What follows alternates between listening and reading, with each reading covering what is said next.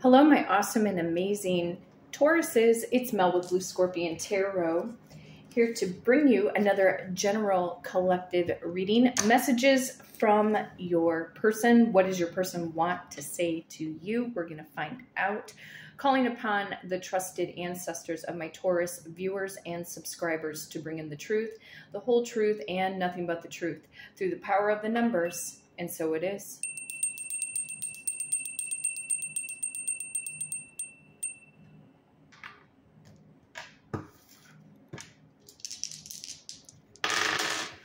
And of course, rolling the dice to see what I need to shuffle the deck to. Power of number nine. Power of number three. And power of number six. Okay, so looks like we are going to the number 18. Some of you Tauruses are dealing with a Virgo or a Libra born in the month of September. You could also be dealing with a Pisces or an Aries born in the month of March. You could also be dealing with a Gemini or a Cancerian born in the month of June. You could also be dealing with a Leo or a Virgo born in the month of August. You could also be dealing with a Capricorn or an Aquarius born in the month of January. Some of you are 31 36, 38, or 39 years of age. You could have been born in 1961, 1963, 1968, or 1969. You could have been born in 1991, 1993, 1996, or possibly 1998 for some of you.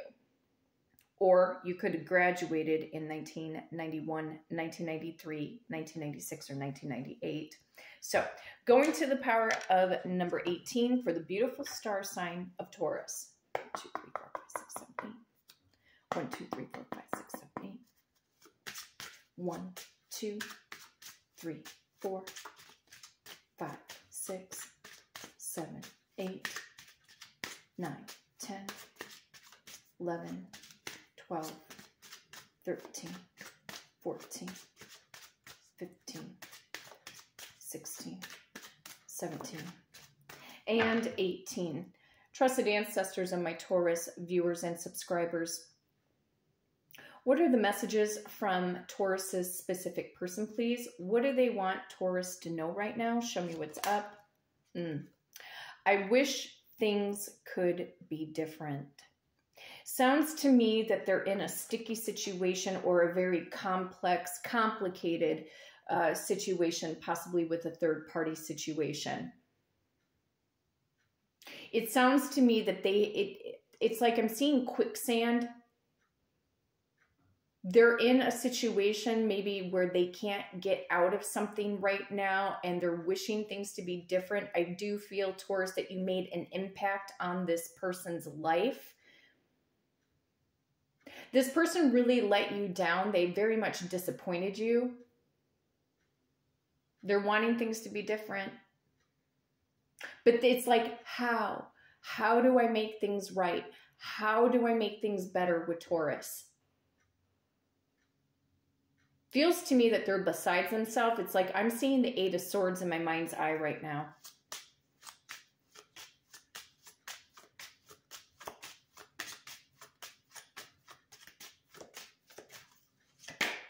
Hmm, interesting. They may be manifesting for you, but they don't even realize that they're manifesting. I will wait for a sign from you. It's like they almost want you to reach out to them before they reach out to you to know that they have the green light. But in truth, this person needs to get the courage to come forward and express their truth. Don't go rushing or racing after them because you may get a different response. See, right now we're going into the Mercury retrograde, and the Mercury retrograde has a way of bringing people out of the woodwork. But this person is thinking about you. They could just be waiting for a sign or a synchronicity from the universe. They could be seeing your name wherever they go. They could also be hearing a particular song on the radio there could be a song that's on their Spotify that reminds them of you. Things like that. Yeah, it's like I keep seeing the green light. They want the green light, but they just, even if you were to approach them, it's like I feel like they're going to shy away from you or back off because they have to come to terms with their vocal communication in order to express themselves effectively. And they know, I feel that this person knows that they have to have some kind of solid plan of action to present to you how they're going to make things right.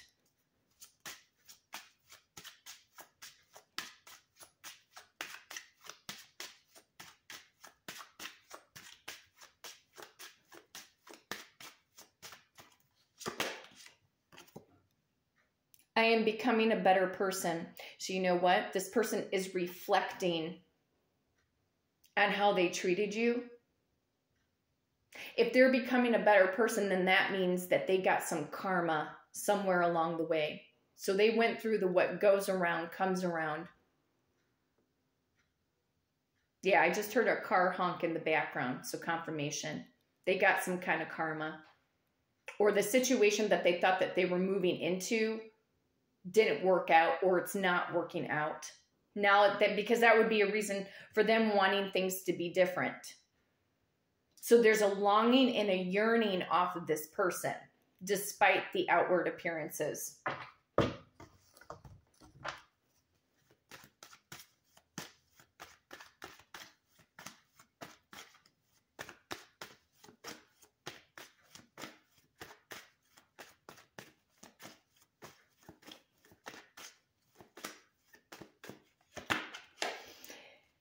I wish things could be different. They want to reunite with you, Taurus.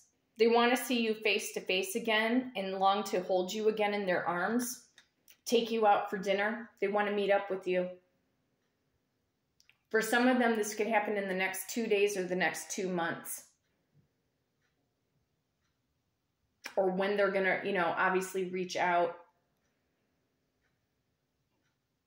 They may also feel trapped or stuck in a situation where, and I feel that this is a very small percentage, but I'm hearing it from spirit. They could be, we'll say, betrothed to someone else based off of religious uh, practices of certain family dynamics or ethnic culture. But that, that again, I'm seeing very small percentage. So they're wanting things to be different.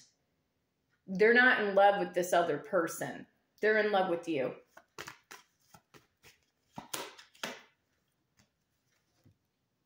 Seven of Swords. This person's worried. They want to tell you that they're worried that you're not going to believe them if they were to come forward and give you true union or come together because they know that they were so sneaky. But yet, the other side of the Seven of Swords is that it can talk about strategy. Strategizing how they're going to make things right. They're not happy. This is what I'm picking up. I don't feel that this person entirely is happy with their situation or their choices.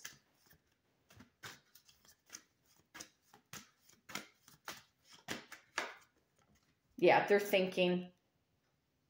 They're reflecting. Four swords. Some of you guys are dealing with Aquarius, Libra, Gemini, and I also got Cancer, Pisces, Scorpio going on. They could have also recently went through a loss. They could have lost a loved one this person made up a lot of excuses and not to say that the loss of a loved one is an excuse. I just they couldn't pull their act together taurus.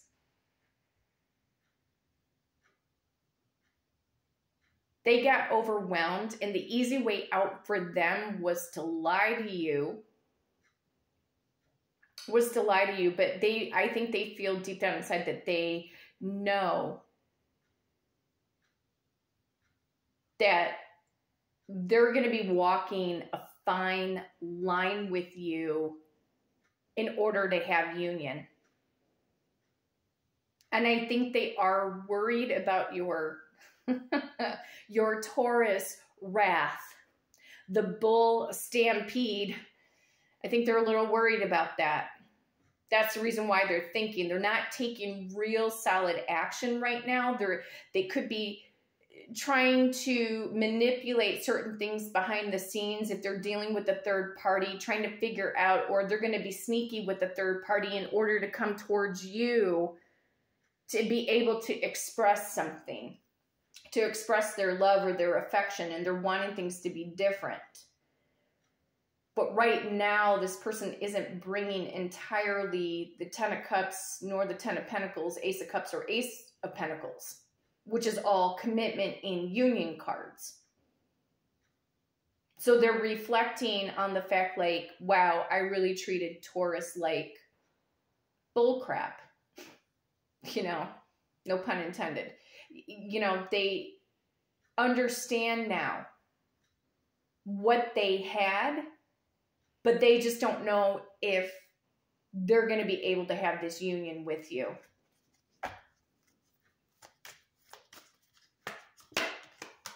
Mm-hmm. They want to have a heart to heart conversation, honestly discuss your feelings with each other.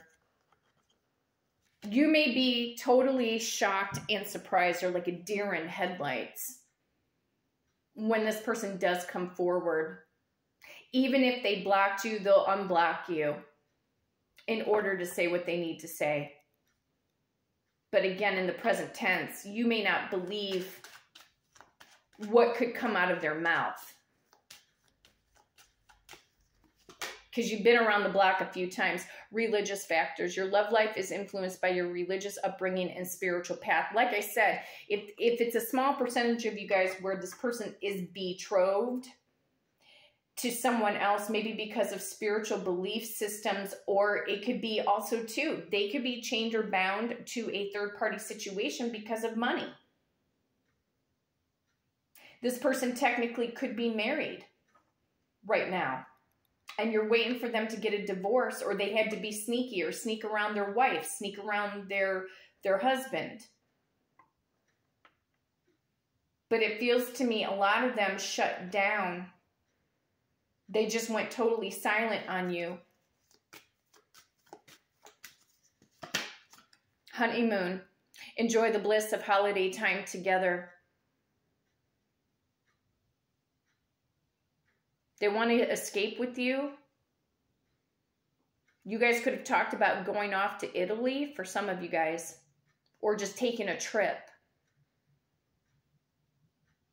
They may reach out during the Easter holiday season if they believe in Easter.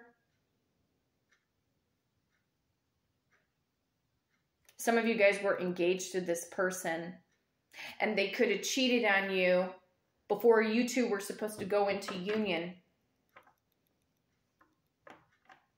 I'm not so sure you want this person back, Taurus. Some of you guys do, some of you guys don't. I mean, a lot of you guys are so forgiving, but how many times are you going to keep forgiving?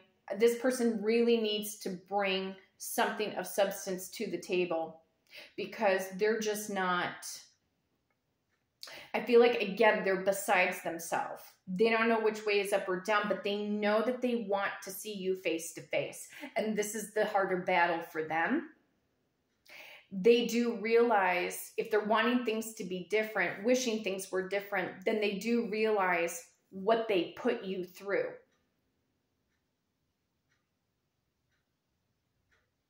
But they second guess themselves because again, they're in some kind of deep-seated reflection. They're taking a time out to think about what they did.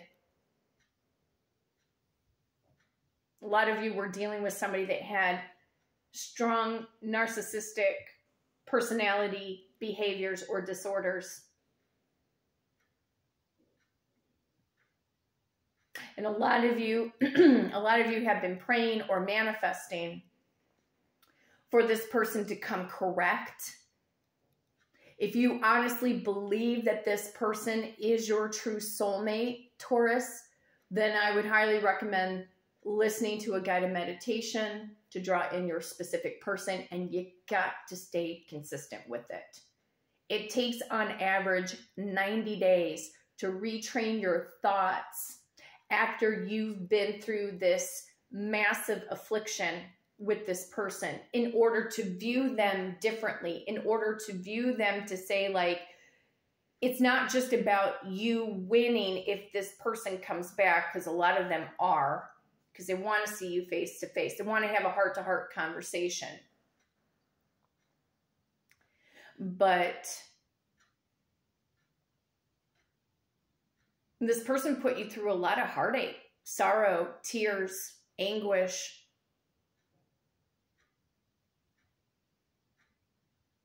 They don't have a solid plan of action, but they know that they want to see you.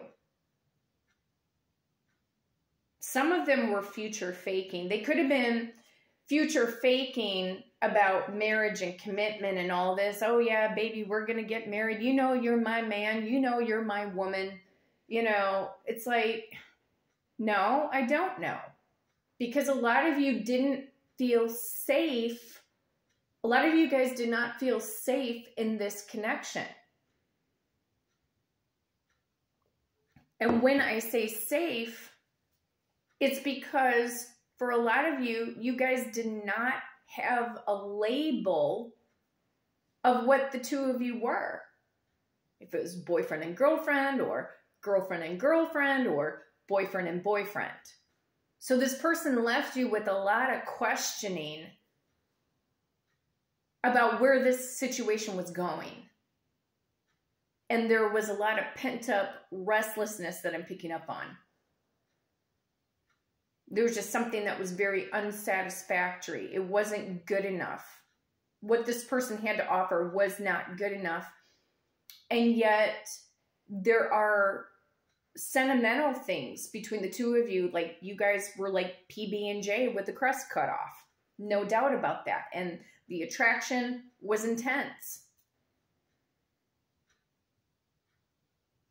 But they didn't know whether or not they were going to step over that yellow line to be like, okay, I'm ready to dive into the deep end with you. Or they gave you the impression that they wanted to. So, right now, better to have them thinking towards than to not have them think at all or to think about their actions. But they're wanting things to be different. Right now, it's just a want.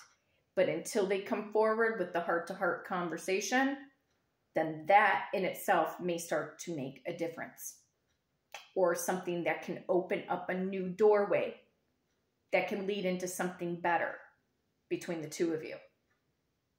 My awesome and amazing Tauruses, if you would like to book a personal reading with me and do it through the power of the numbers, you can hit me up at blue scorpion gifts at gmail.com and my amazing assistant Victoria will book you for that personal reading.